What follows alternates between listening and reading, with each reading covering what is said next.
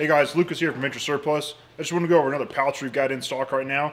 Go over some of the details about it, some of the history, because this is an extremely old vintage pouch, and uh, just some of the uses for it. So we got here is a uh, second pattern M56 USGI universal small arms pouch. So what that means is it's from the M56 system, which is uh, what was created right after the Korean War to replace all the World War II equipment they'd used up until then.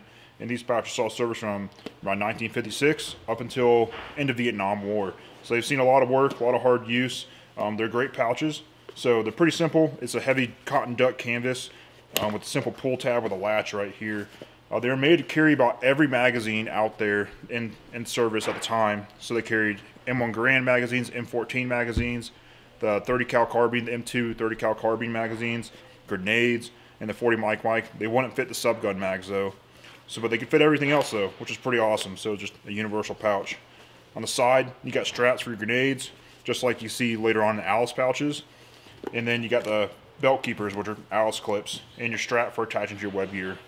These are pretty cool pouches. They're vintage. They're awesome for any collection, reenactment, and um, just a cool piece of history because they are so old and a lot of them have seen a lot of service.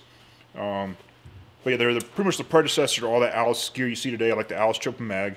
You can see all the same design features are here. They just went through several improvement features. So if you enjoyed this little quick fact about that, it's a pretty cool pouch. We got plenty in stock, so make sure to grab a piece of history today.